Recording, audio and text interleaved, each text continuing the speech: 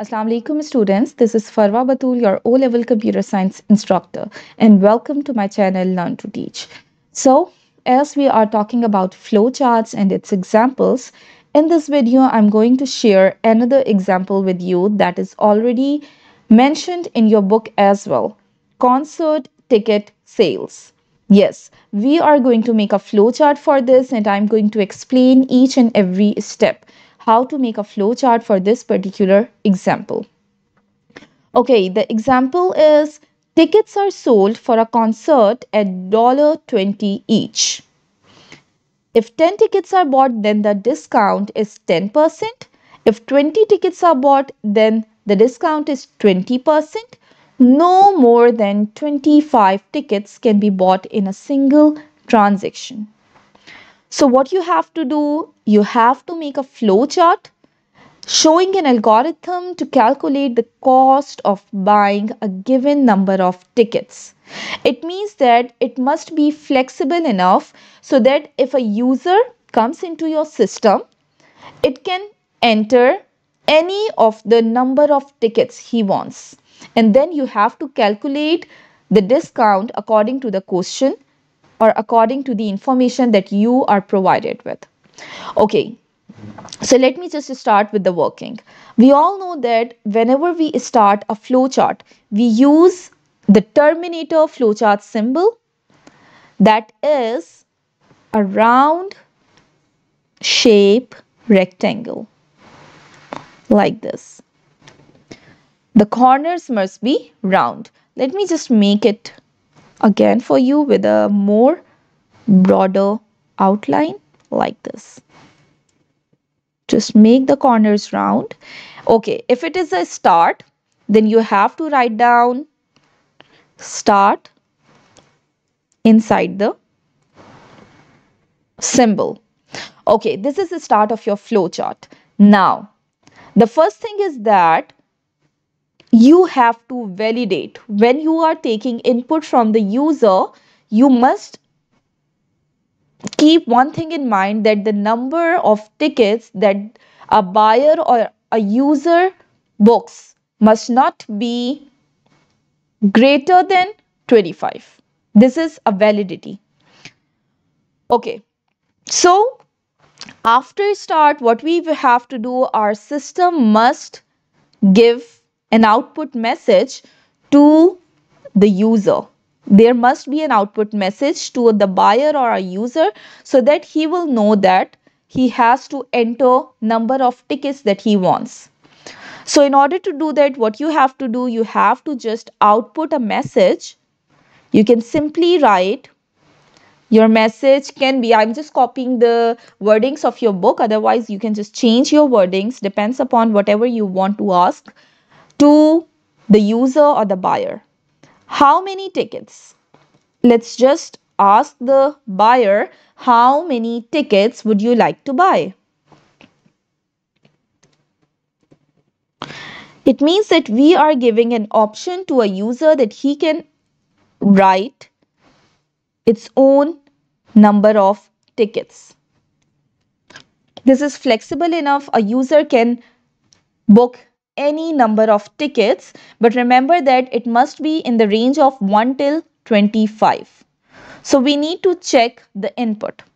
First of all whatever the input is you have to save it in a variable. Upon taking, upon just showing this message then you have to wait for the input or the number of tickets that will be entered by the user. So what you will do, you will input that number of tickets entered by the user in a variable n or any uh, letter or any name you can give to that variable. So here I'm just using a letter n. This is, I'm writing down here a variable to store number of tickets that the buyer wants. So n is basically a variable. The value of n is basically the input that the user gives. It can be if the user wants 20 tickets, the 20 value will be stored in this variable. If the user wants 7 tickets, the 7 number will be stored in the variable. So the variable is just to store the number of tickets that a user wants. Now, after saving it in a variable, now you have to check the validity of the variable n. What it means? It means that according to the question, we know that a buyer cannot here to see this. A buyer cannot book or can't have 25 tickets, cannot buy 25 or more tickets. He can buy within the range of 1 till 25 but not more than that. So let's suppose if a user enters 0 or a user enters 27, 30 or 100 whatsoever. If it is greater than 25 and if it is less than 1 then it is an invalid entry. So what you have to do just check the variable n. So whenever you have to check a variable you have to use the decision flowchart symbol. It helps us the decision flowchart symbol helps us to take decision because whenever you check for a data, it can be either true or it can be either false. Just let, let me explain you this thing. What I will do inside this decision flowchart symbol, I will compare the variable n. I will just check if the value of n is greater than equals to 1 and the value of n must be less than 25 sorry 26 it would be less than equals to 25 and you can also write less than 26 so you have to check for this check for the variable n right this would be your statement now remember that if it is true then you will go down and you will just calculate the discount this is when the value is within the range. Within the range means let's suppose if the value is 7. So 7 means that if n is 7, it means that yes, n is greater than and equals to 1 and n is less than 26. So it means that yes, for value 7, for value 20, for value 23, this statement will be true. So you will go to yes and move downward towards your flowchart. But if it is no, no means that if the value would be 0 or if the value of n that the user inputs is greater than 25, then this statement becomes false. So if it is an invalid entry, what you have to do? You have to go up and ask just you have to output the same message again so that the user will enter a valid number or the number that must be within your range. So yes, this is all about how you are going to incorporate this input validation. Okay, after that, once you are sure that the number is within the range, number of tickets that the user input is within your given range 1 to 25, then you will calculate the discounts and you will check how many tickets are there that the user wants. So first thing is that there will be three cases. Just let me recap the discount cases that we have. Remember that there will be no discount. Let's suppose D is a variable. I'm just writing down D is a variable to store discount for a buyer. So let's suppose if the number of tickets we know that according to this question let's just go again here according to this question it is said that if just look at this. If 10 tickets are bought, then the discount is 10%. It means that if it is less than 10, then there will be no discount. But if it is 10 and more than 10, it will be a 10% discount that is given to a buyer. And moreover, it is mentioned that if 20 tickets are bought, the discount is 20%. So it means 20 till 25 because the validity is till 25. So 20 till 25, a user will get a 20% discount. So what you have to do, you have to first of all just note down the cases of discount. So remember that if the number of tickets are from 1 to 9, if the value of n is from 1 to 9, then the discount is 0. The user will have no discount. And if the number of tickets are from 10 to 19, then the discount would be 10% or in terms of decimal, it will be 0.1 of the total cost. And if number of tickets are from 20 to 25, then the discount will be 20% or in terms of decimal, it is 0.2. So these are the three cases. So it means that you have to check the value of n.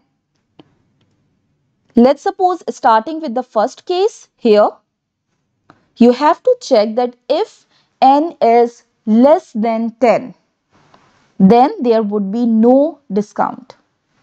So let's just do it here. Checking after knowing that the n, the, the value of n is within the range. Now the second decision would be to check the value of n if it is less than 10. Less than 10 means that if it is yes, then there will be no discount because we know that if the tickets are from 1 to 9, then there is no discount. I'm just placing all this information a little right here so that I can make the flowchart easily. Okay, now let's see. If it is no, if it is yes, the value of n is less than 10, then you have to make the variable discount or you have to put the discount value 0. Use a process flowchart symbol because you are assigning a variable with a value. So use a process flowchart symbol. Now next is the second thing. If the value of n is not less than 10, no, then what you have to do, you have to check if the value of n is less than 20. Less than 20 means that you will get a discount of 10%. So here, check the second thing that is n is less than 20. Okay, if it is yes, then remember that now the discount would be, just give me one minute here. Now you will change the value of D. Let me make a nice rectangle. Okay. Oops. Now you have to put the discount 0.1 and we know that it's 10% so in decimal it will be 0.1 of your cost 0.1 discount put the value 0.1 in the variable d. Okay, next. If it is a no-no, no-no means that the value is not less than 20, it is greater than 20. Then you have to make the discount 20% because, because we have already checked that the value is less than 25 sorry 26 so now the value will be if it is greater than 20 and it is less than 26 so it is within the range of 20 to 25 so it's already mentioned in your question that if it is greater than 20 and if it is less than 26 then the discount would be 20 percent. So make the variable D 0.2 that is 20%. Now, this is all about the discount. Now you have set the discount for each of the value of n according to the question. Now let's calculate the cost. Now just do one thing. What is that? You have to join all this yes yes statements here with the flow of the flowchart. What I mean? I mean that you can see here that this is disconnected. So now you have to just move it here. When you assign the value of discount, then you have to move towards the calculation of your cost here. So you will just connect all of these discount process flowchart symbols with the symbol here with the main symbol here or with the step where we are going to calculate the cost. Now let me explain you the important thing that how you going to calculate the cost of the number of tickets that a buyer gets or buy according to the discount. So it's pretty simple. We know that each ticket is of $20. Let's suppose the cost C is the cost of one ticket that, that is $20. Now what you have to do, we know that the number of tickets are in the variable n.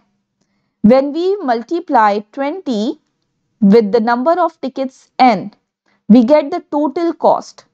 Let's suppose if the number of tickets are 2, then it will be $40. If the number of tickets are, let's suppose if the number of tickets are 5, then it will be $100. So this is a normal formula when there is no discount that you just multiply the cost of one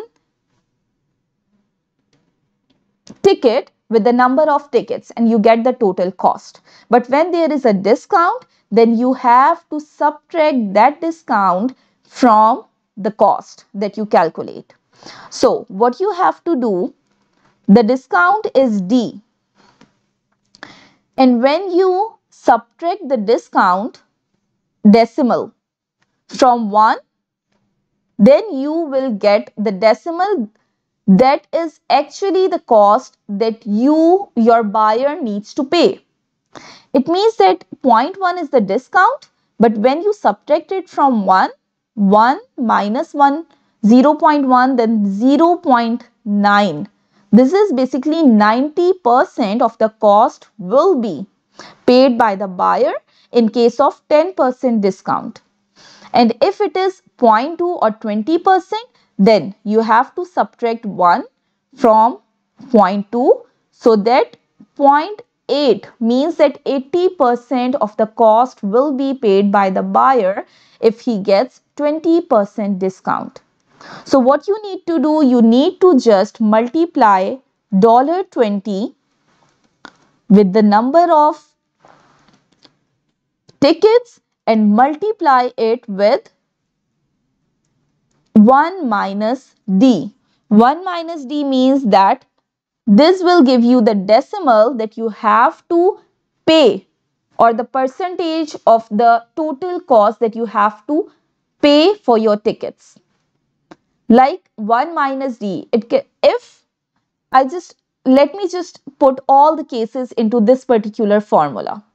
Case number 1 is if there is no discount, d equals to 0, then $20 the cost of 1 multiply by n and then 1 minus 0 is 1 it makes no difference. Just multiply dollar $20 with n and you will get the total cost. No discount at all. Now the second thing is that if the discount d value is 0.1 it means discount is 10% then dollar $20 is multiplied with number of tickets n and then you will multiply it with 1 minus 0.1 that is 90% of your cost. Multiply by 0.9 when we multiply 0.9 with our cost it means that 90% of your actual original cost is the amount that you have to pay. Okay so similarly for the third case that is let's suppose if just take the same thing with the value of n. Let's suppose the value of n is 15 15 tickets means it is greater than 10 that's why you will get a discount of 10% so if there was no discount then it is only 20 multiplied by 15 that is maybe if I'm not wrong it is $300 yes. But since uh, the buyer will get 10% discount, so when you multiply this amount, the actual cost with 0.9, so you will get 90% of dollar 300. So it means that you will be paying 270 and the discount of $30 is given to you. So this is how the formula works. Now let's take the discount of 20%, 0.2. Now same formula, $20 multiply by number of tickets multiply by 1 minus 0.2. Okay, now let's put the value of n that must be greater than 20, 20 or greater than 20. So let's suppose it is 22. So dollar 20 multiply by oh wait multiply by 22 and then you have to multiply the cost with 1 minus 0.2 is 0.8 so that you will get 80% of your cost if I will see if I will not consider this discount then the cost would be 20 multiply by 22 it's 440 you the buyer would be paying 440 dollars if there is no discount. But since the number of tickets are greater than 20 so he will get 20% discount or he's going to pay just 80% of this 440 dollars so it will be 352 352 means that he is going to get a discount of $88. So this is how the formula will work. Now, let's just write the same formula here so that once you get the discount, then you can simply calculate the formula or calculate the cost of the tickets. So just do one thing, use another variable with the name of cost and then assign the value to it that is $20 20 multiplied by n that is the number of tickets and it is multiplied by 1 minus d you are subtracting the discount okay now once you calculate it and then the final thing is you have to show it to the user. So the output message would be in a parallelogram. Just write down output your ticket tickets cost remember that the thing that you write in commas will be printed as it is and then the thing that is not in commas, that is basically the variable and the variable value is usually shown to the user but not the variable. So on the screen the user will see your ticket cost and after that the cost value that is calculated here will be visible to the buyer. So the final and the last thing is the end of the flowchart. So just use a terminator flowchart symbol and write down stop inside it. Wait for it. S-T-O-P. So here we go. This is the end of this flowchart. I hope that it is clear to everyone.